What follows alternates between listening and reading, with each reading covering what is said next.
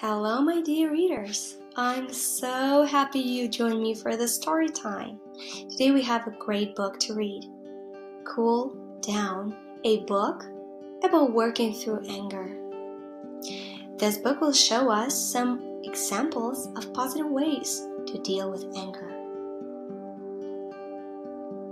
I will take a deep breath. I will calmly walk away I will count to ten before I speak. I will play music. I will go on a walk outside. I will close my eyes and think happy thoughts.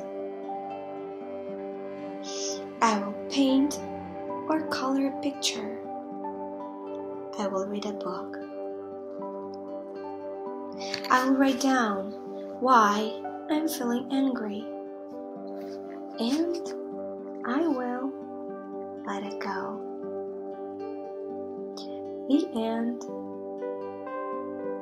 Friends, I also want to share with you some belly breathing practice. And when you feel upset or frustrated, you could practice these exercises by yourself.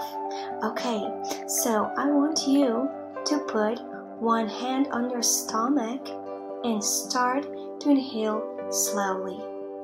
As you breathe in, imagine a balloon in your stomach filling up and continue to inhale until the balloon is very full.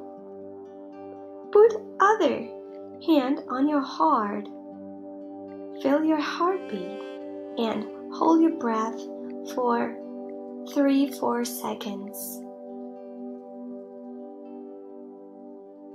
Now let your breath out slowly for 5 seconds. Feel your belly flatten like a deflating balloon. Repeat this process 3 4 times, and you should notice your heartbeat slow down and your muscles relax and you feel much better. I hope you enjoyed this book and I hope you like the breathing exercises. Have a wonderful day and join me for the next story time. Bye.